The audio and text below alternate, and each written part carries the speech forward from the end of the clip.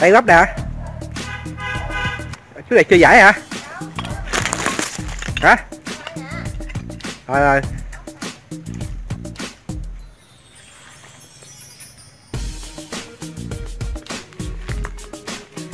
Rồi đốt, đốt đi. Có luôn chú chú chú chú dài chín kia kìa. Đốt đi luôn đi. Nhiều nhiều lắm nhưng mà có bắp là giải hả? Mấy kia không giải? Cái này nè. À, thấy tới không? Tới với đó không thấy nghe.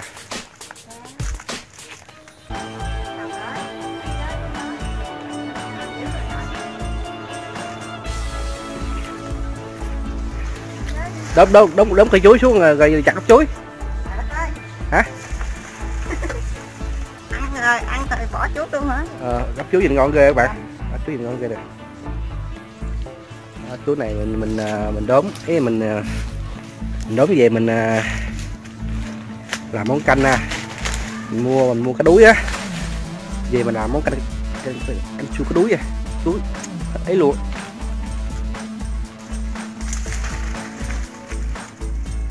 Để anh thấy vậy?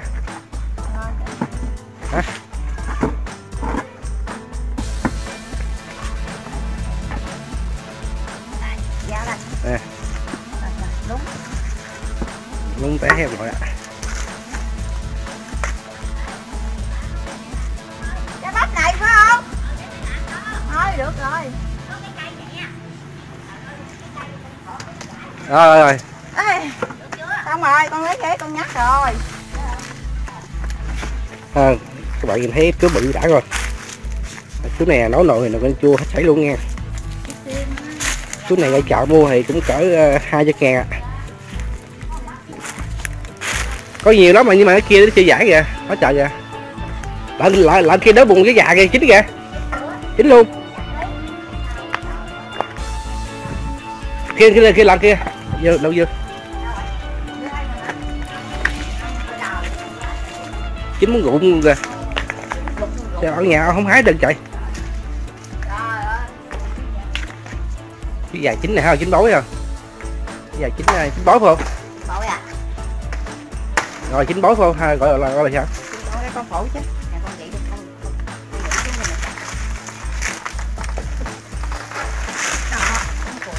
Nè, ở ở nhà cái bụi chuối gần nhà của không biết chín luôn không? Không biết chín luôn nãy giờ chín nó rụi luôn. Cầm à bữa nay ra cái phát hiện rồi thôi. rớt luôn. Đây rụng ha rồi này con dĩ ăn rồi. Ê, ngon ghê luôn này ha ăn luôn. Ăn luôn ăn luôn. Chuối này mới ngon nè. Ngon. Trời ơi vậy không để vậy cái nhìn lên xuống ăn mát trời chú đã trời. Rồi cắn miếng này cắn miếng này. Coi chừng ờ, ờ, ờ. ừ. ngon quá không ngon ghê. Nhưng rồi, thơm. Ngọt ngay. hợp phức luôn. Quá tự nhiên quá trời ha. Chừng tháng nữa ông vô rồi. Rồi mình vô mình ờ, lấy cái chuối này mình nấu canh nha chào bạn nha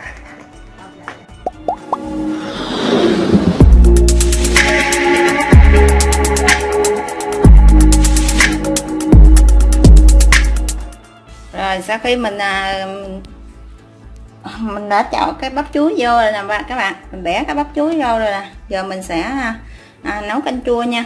Ở đây mình sẽ có một phút tô cá đuối. Thì cá đuối này mình sẽ, sẽ chặt nhỏ ra nha. Mình chặt nhỏ ra rồi sau đó mình sẽ ngâm ngâm nước khoảng à, 10 phút 15 phút mình cho cái khô này nó mềm hơi mềm chút xíu á. Tại vì cái khô cá đuối này à nó nó rất là cứng nha nó cứng dữ lắm các bạn. Mình phải ngâm nước để cho nó mềm mới được. Còn à, để nấu nem à, nấu canh chua ngày hôm nay thì mình sẽ sử dụng hành rau thơm ớt và đường muối. Thì à, mình có thể cho một tí xíu nước mắm ngon vào để cho thơm ha. Rồi bây giờ mình sẽ cắt cái khúc à, cá đuối này nha. Mình chặt ra nó cứng dữ lắm. Mình à, mình ngâm nha. Rồi à, cá khô cá đuối này là mình chặt khúc nhỏ ra mình ngâm nước nè ngâm nước rồi nè các bạn cho nó mềm nha. Bây giờ mình là cái à, bắp chuối là mình sẽ sắc ra. Sắc cái bắp chuối ra thì à, trong à, khi sắc á, thì các bạn chuẩn bị cho mình một thau nước đây nha. Một thau nước này thì các bạn cho bỏ cho mình một tí xíu muối và một ừ, trái chanh hoặc hai trái chanh để cho cái bắp chuối của mình nó trắng á. Mình đã nặn chanh vào trong đây rồi nè. Thì các bạn chúng ta cái nặng chanh nhiều vô đây thì à, thì cái à, à, cái bắp chuối của chúng ta nó càng trắng nha các bạn.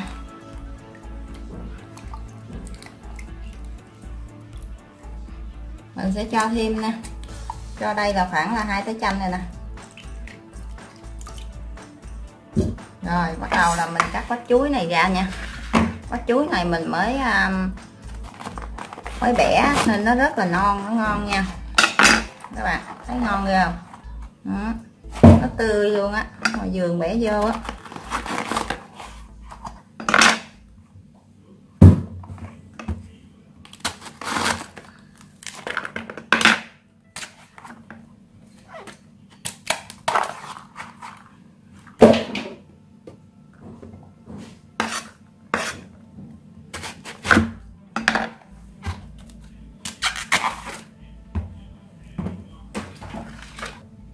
Chuối này à, mới bẻ vô nó còn mũ nhiều lắm.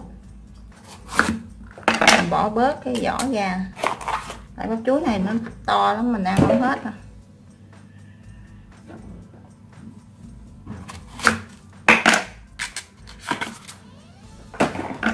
rồi bắt đầu là mình sắc cái bắp chuối nha. Nó dễ mình sẽ nhúng vô. Cái bắp chuối này à, nó mũ vậy lắm mới cắt xuống nó mũ các bạn. Rồi nhúng cái dao vô luôn.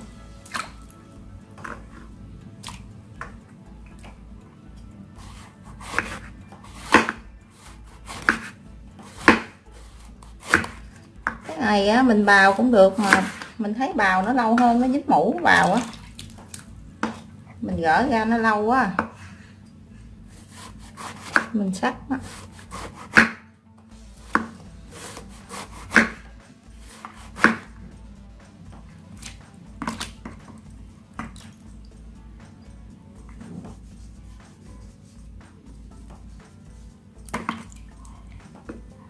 dao mình nó dính mũ à.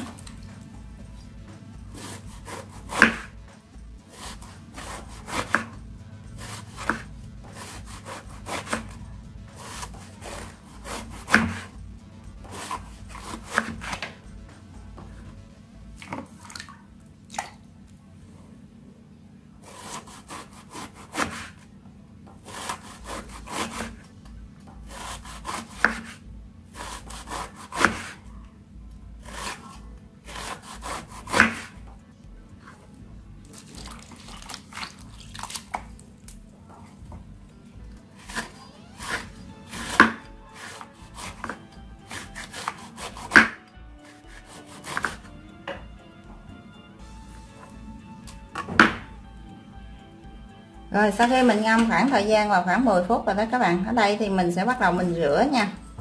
Mình rửa cho nó sạch nha, rửa lại cho nó sạch. Rồi, sau khi mình rửa sạch rồi, ở đây thì mình sẽ bắt cái nồi nước vô nè các bạn. Nồi nước mình cho cá vào trước, khô cá đuối nè mình cho vào trước luôn nha các bạn. Thì à, ở đây thì mình sẽ cho vào trước rồi mình mới bắt lên mình nấu. Như vậy thì nó sẽ mau mềm hơn. Rồi, mình bắt lên mình nấu. Mình cho trong khi mà nước nó um, đang còn lạnh á chưa có sôi chưa có ấm gì hết đó như thế là cái khô của mình á khi mà nước sôi thì cái, cái khô của mình nó cũng mềm ra rồi.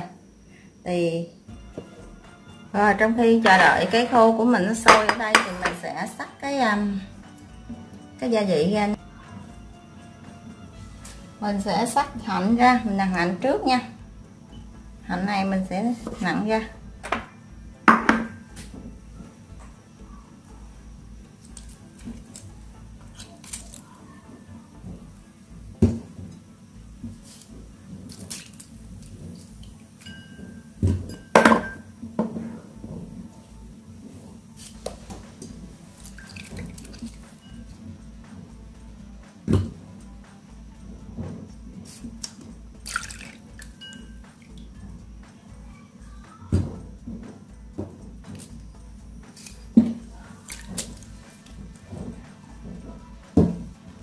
Rồi.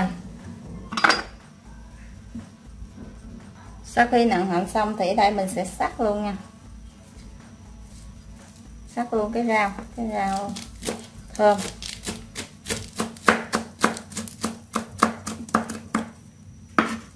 Ớt.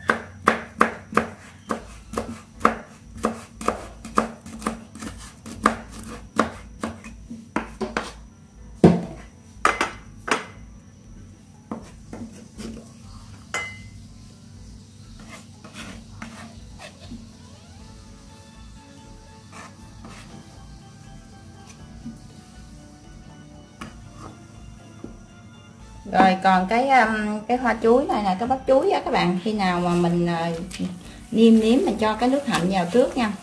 Khi mình bỏ vô canh chua á, mình nấu á thì nước hạnh vào trước á, nó không bị uh, nó có cái độ chua á, mình bỏ mình vớt ra mình bỏ vô nó không có bị chua nha bị đen cái chuối. Thì uh, mình sẽ niêm nếm trước mình cho gia vị hạnh đầu vô trước rồi mình bỏ chuối có chuối này các bạn thấy nè trắng. Khi nào mình gần gần tới mình nấu gần chín rồi khô, nó nó mềm ra. Rồi mình hãy vớt ra, mình vớt ra sớm quá, nó bị đen nha các bạn. Rồi, ở đây khi mà nó sôi rồi đó các bạn thì mình trước tiên thì mình sẽ cho cái gia vị vào mình nêm trước luôn nha. Mình cho khoảng là hai muỗng cà phê muối. Đường thì mình sẽ cho 3 muỗng cà phê đường.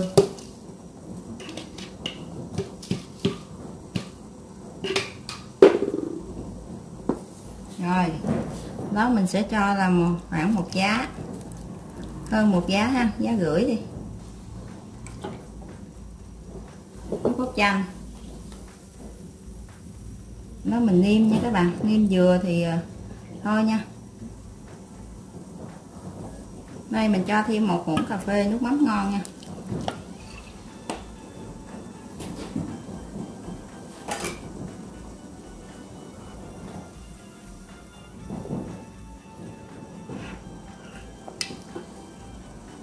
Rồi mình nêm đây là khoảng là 4 đến 5 muỗng cà phê um, đường 3 muỗng cà phê muối. Ở đây nếu các bạn nào chúng ta thích bột nêm á hay là chúng ta thích ăn bột ngọt gì chúng ta cho vào nha. Đây mình cho một muỗng cà phê bột nêm vào.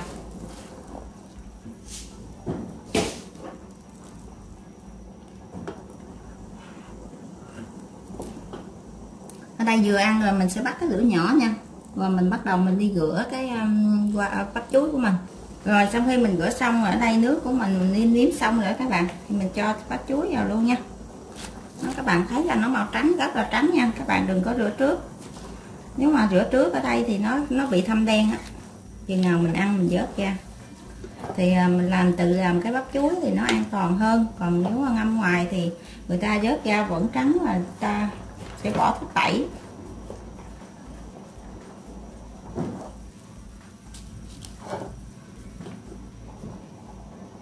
Rồi sau khi mà cái à, canh của mình nó sôi rồi nó trắng hơn các bạn mình sẽ cho cái à, ớt và rau à, rau con mùi vào trong đây ha. Rồi tắt bếp nha các bạn. Rồi sau đó mình sẽ làm cái nước chấm để mình chấm canh chua nha. Thì ở đây là với những bếp trước á, mình chia sẻ cách làm cái muối ớt á. Bây giờ các bạn thấy mình cho vô hũ, nó rất là ngon ha mình sẽ lấy cái muối ớt này ra, muối ớt này nó cay lắm. Hỏng mình chia sẻ là mình làm rất là nhiều ớt đây. Nó cay ơi là cay luôn. Rồi mình sẽ à, cho cái à, hạnh hoặc chanh vào đấy các bạn.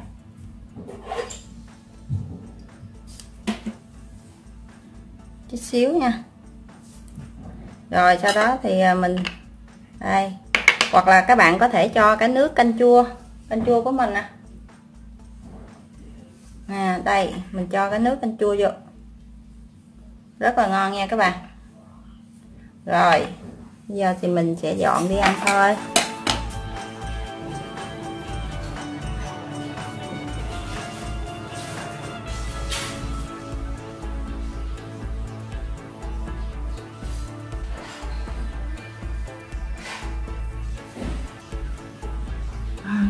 Thấy hấp dẫn không à? thơm không?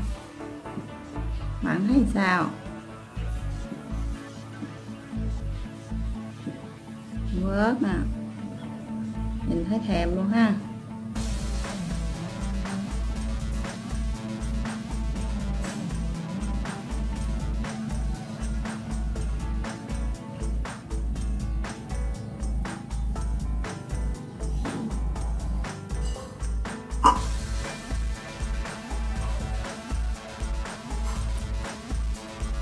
À, như thế là mình đã làm xong cái món à, canh chua cá đối của ngày hôm nay rồi các bạn.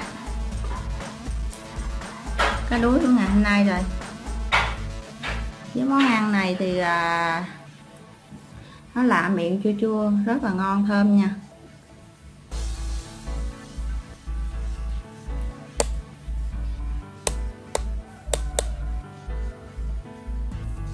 À, xin chào các bạn hẹn gặp lại các bạn trong những video tiếp theo của mình nhé. Xin chào.